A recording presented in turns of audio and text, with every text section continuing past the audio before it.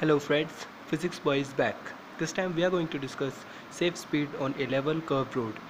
This is first part of the two parts that is banking of road and let me tell you that it is extremely easy. As the car is moving on a level curved road, three forces are acting on it. First one is weight of the car vertically downward that is equal to mg second one is normal reaction n which is arised due to weight of the car. And here it is mentioned. Third one is force of friction which is along the road and towards the center of the curve we can see the weight is balanced by the normal reaction. So we write here mg is equal to n. And so as car move on curved road to avoid sliding off a safe speed is required. And this safe speed is provided by the unbalanced force which is force of friction. So in order to get safe speed the say the centripetal force must be less than the frictional force otherwise it will slide.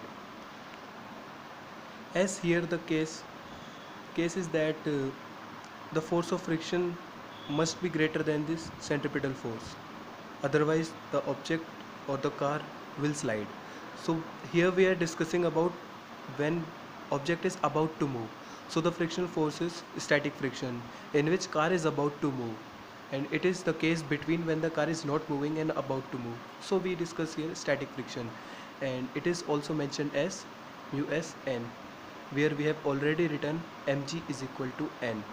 So we can clearly write mv square upon r is less than equal to mu s mg and safe for safe speed it must be less than or equal to. So calculating square upon r is equal to mu s mg and after further calculation we get safe speed is equal to under root mu s rg where mu s is coefficient of friction r is radius of the curve and g is acceleration due to gravity.